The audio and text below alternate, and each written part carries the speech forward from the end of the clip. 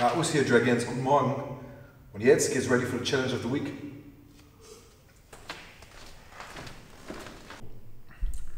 Us Dragons. Und jetzt kommt die Challenge of the Week. Jeden Früh direkt 50 Liegestütze. Los geht's, Haschinger.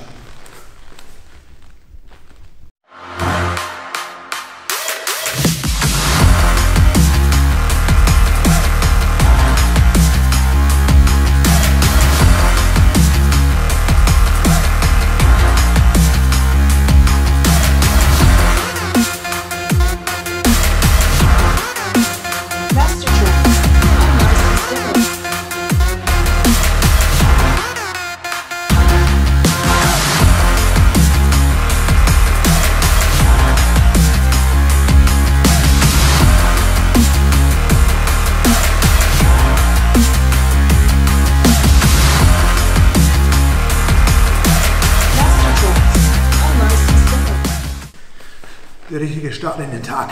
Us. Us. Dragons. Sehr gut. Hände vor. Wir grüßen den Großmeister. Us. Auch zu Hause. Us. Und nach der Challenge of the Week geht es jetzt zur Technik of the Week. Und dabei geht es heute um Selbstverteidigung. Deswegen kommt mal mit.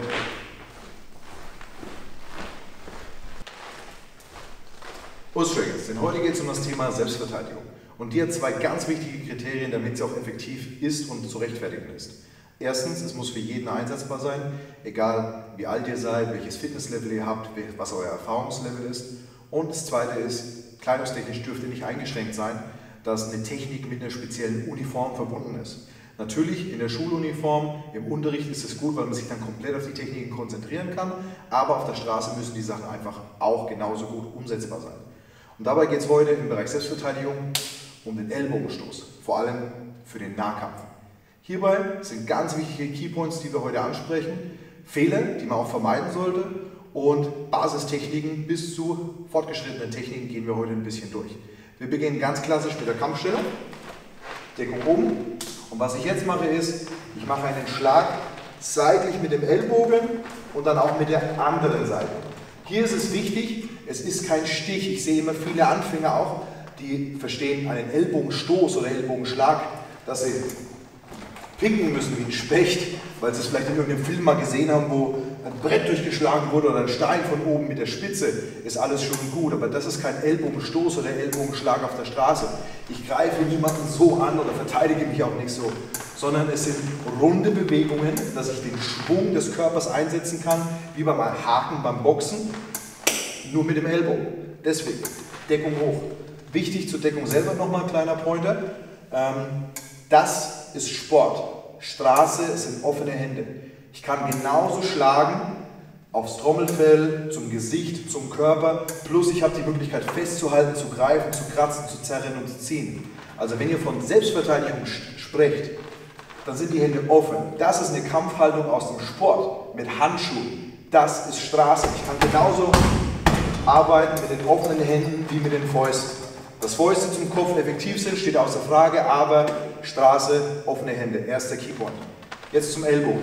Wir stehen also da und es ist immer wichtig, beide Hände haben was zu tun. Mit dem einen Ellbogen führe ich den Schlag aus, aus einer drehenden Bewegung und meine andere Hand schützt mein Gesicht, dass kein direkter Blickpunkt oder Kontaktpunkt möglich ist zwischen dem Angreifer und mir selber, weil ich mich offen lasse wie ein Scheunentor. Deswegen immer überkreuzt einen Schutz vor dem Kopf. Das ist das Erste. Das ist die Basisbewegung, einfach die Hüfte reinnehmen und den Ellbogenschlag setzen. Jetzt, wenn ich mehr Power rein entwickeln will und auch mehr ähm, in mein Gerüst, in meinen Stand, mehr Vertrauen entwickelt habe, mache ich einen Schritt mit dazu. Dann habe ich mehr Power. Warum? Weil ich meinen Körper mit reinbringe. Das ist gut, aber das ist eher eine Koordinations- und Rotationsbewegung. Für Power mache ich Schrittarbeit. Ellbogen rein, Ellbogen rein, Ellbogen rein. Immer mit Schrittarbeit. Der Ellbogen, der vorschießt, der Fuß ist drin, dass ich meinen kompletten Körper im Schlag mit drin habe. Das gleiche dann auch später in der Advanced-Technik mit der Drehung, mit dem gedrehten Ellbogen. Das gleiche Prinzip, so wie bei unserem Turning Sidekick. Ich stehe dem Ziel gegenüber, ich step, ich lade meine Hüfte und dann mache ich den Schritt mit und nehme meinen Körper wieder mit, dass ich Energie behalte. Also, Wir haben drei Level. Basis, Standard-Ellbogen, einfach für die Koordination. Immer an die Deckung decken, Hände hoch vor das Gesicht.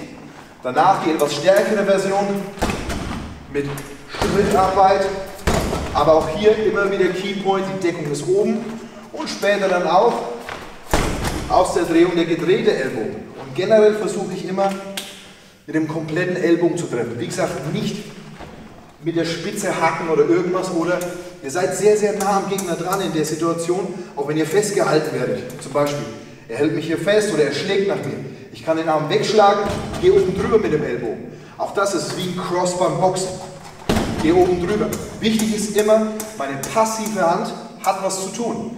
Sie ist für den Schutz von mir verantwortlich, während mein aktiver Ellbogen für den Schaden verantwortlich ist sozusagen. Deswegen immer, egal welche Situation ich mache, auch in der Drehung, immer die Hand hoch, immer Deckung hoch. Basisprinzipien. Wichtig ist, stabiler Stand, Deckung vors Gesicht, Rotation, sauber mit dem Ellbogen. Hände vor, Technik of the Week, Os. Os. Jürgens, sehr gut. Also, ihr habt eure Challenge of the Week, ihr habt eure Technik of the Week. Hände vor, wir grüßen den Großmeister. Os. Auch zu Hause. Os. Und jetzt Vollgas.